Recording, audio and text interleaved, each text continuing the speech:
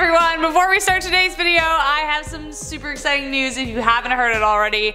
Bumblebee, the new channel Dewey and I are hosting, is gonna be launching very very soon and we would love your support. It's gonna feature a lot of weird stuff and hopefully even weirder stuff in the future. I'm just excited for where it's gonna go. Uh, so please head on over and subscribe so you can be the first person to like and watch and comment on a video and let us know how we're doing and what else you want to see. I'm also really curious for that video. Let us know in the comments like what else you want to see in terms of YouTube stuff because we, we love you guys. And we want to know what you love too.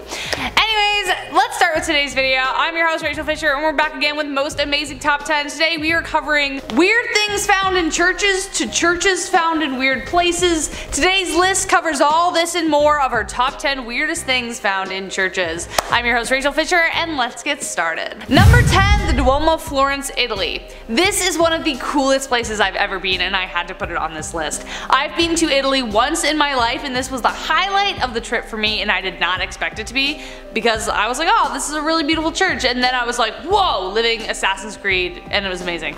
Besides living out your Assassin's Creed Ezio dreams not only is the cathedral stunning but the trip to the top is nothing like you'd expect. I walked in expecting to solely marvel at the frescoes immediately inside which are breathtaking but then there was a guy by a small door where you could pay to travel the 463 steps it takes to get to the top. I'm not the one to skip a leg day so challenge accepted. It wasn't just a spiral staircase, which honestly thank goodness because I would have huh, but anyways. It was that plus scaling steep narrow pathways and traveling through narrow tunnels. Whoever pictured monks as rounded and out of shape was dead wrong, especially if they were climbing that every day. Number 9. The Braunston Goddess. You would expect statues of the Virgin Mary and Jesus to be present in churchyards and chapels, but this little stone sculpture isn't really as self-explanatory. In the 1920s in Braunston and their All Saints Church front steps needed replacing. As they removed the stones, they came across this strange little sculpture.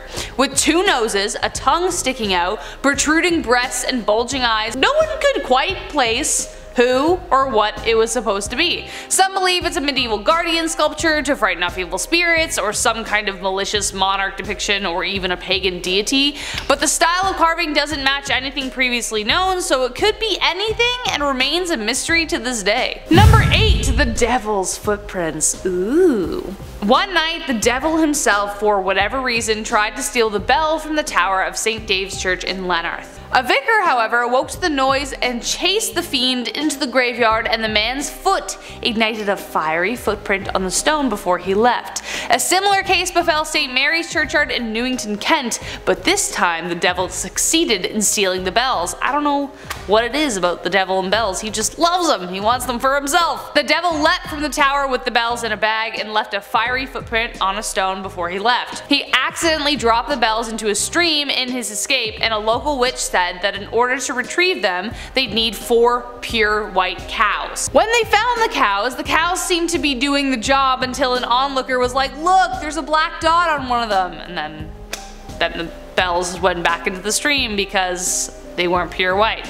But you can actually visit the stone with said footprint atop it, and it is said that if you place a finger on top and walk around it three times, it will bring you good luck. Better luck than the devil had at least, he just couldn't get a handle on those bells. Number 7. St. Catherine of Siena's Head.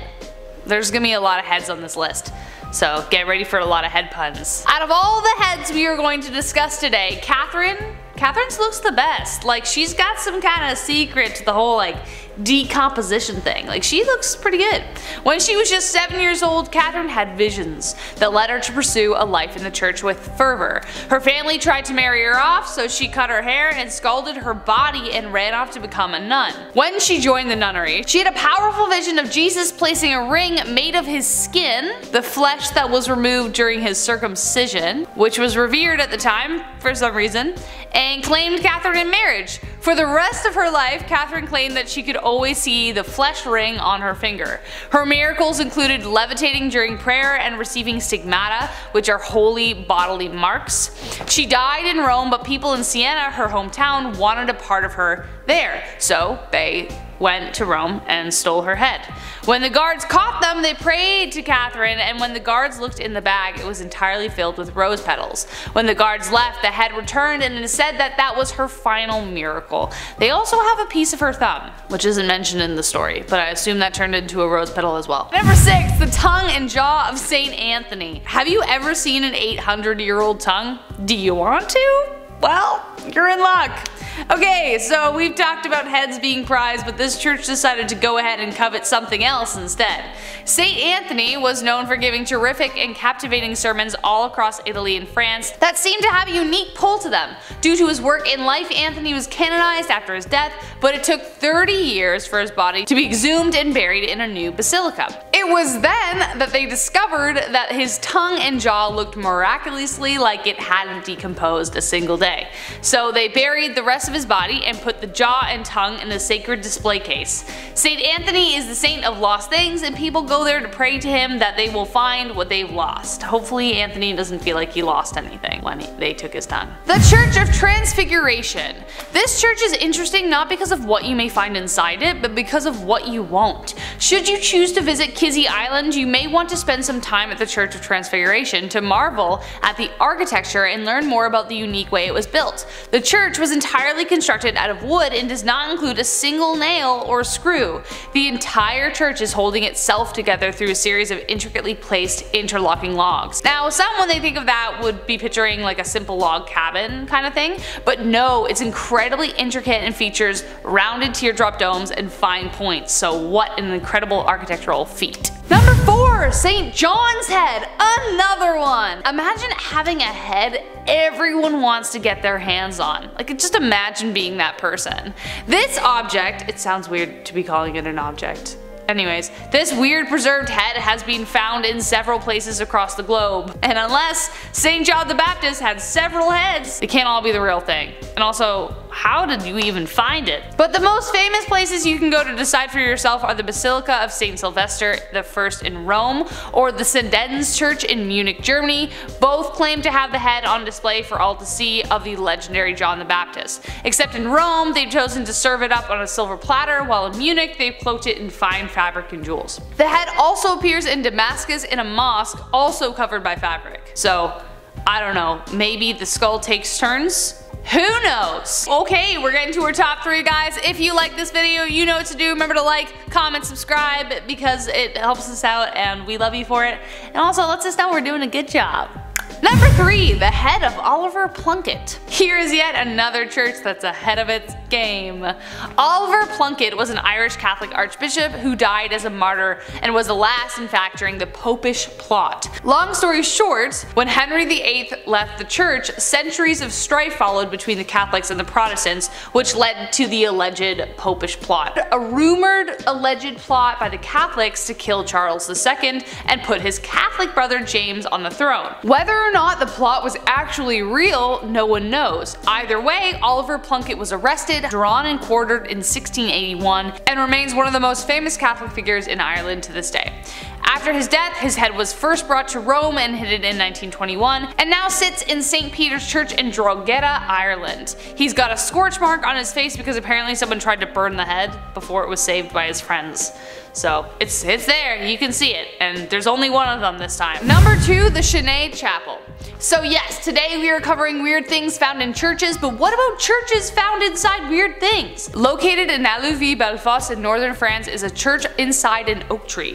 Sinead Chapel aka Chapel Oak as it translates to honestly looks like a church designed for a scene in a Tim Burton film. The oak tree is over 800 years old and legend says that William the Conqueror chose this tree to pray beneath before he left for England. When lightning hit the tree in the 17th century it sealed the tree's fate as becoming a place of worship. There is an entire spiral staircase that surrounds the tree with two tiny chapels inside. It was later converted to a temple of reason to save it from French revolutionary atheists who tried to burn it down. But today it remains and you can still visit it today. You can still visit it today either to pray or marvel at the spectacle. It's up to you.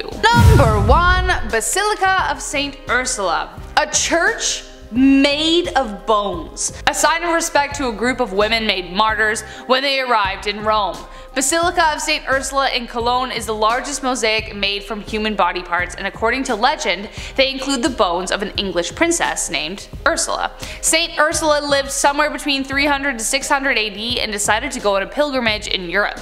But given the time as well as the fact that she was a princess, she could not travel alone. So she took a force of a thousand virgin women with her. Their ship allegedly blew across the sea to Rome in a single day, but then another ambitious wind swept them off course to Cologne. Unfortunately for Ursula and her league, the Huns were ravaging Europe at that time and were captured shortly into their journey. The elegant way of saying what happened is to say that they were martyred, so we'll say that. Relics of the princess were housed in the basilica, but in the Middle Ages a pit of bones were discovered. The bones were believed to be those of the princess and her followers, and they were placed within the church so that they may finally be at rest. Unfortunately due to forensic analysis, the bones also include men, dogs, and babies so I guess there are a lot of questions here that need answers. So if they're not St. Ursula's, whose are they? And that was our top 10 list of top 10 weirdest things found in churches. Make sure to like and subscribe and comment on what you're looking forward to seeing and make sure to also do that on Bumblebee. Thanks so much guys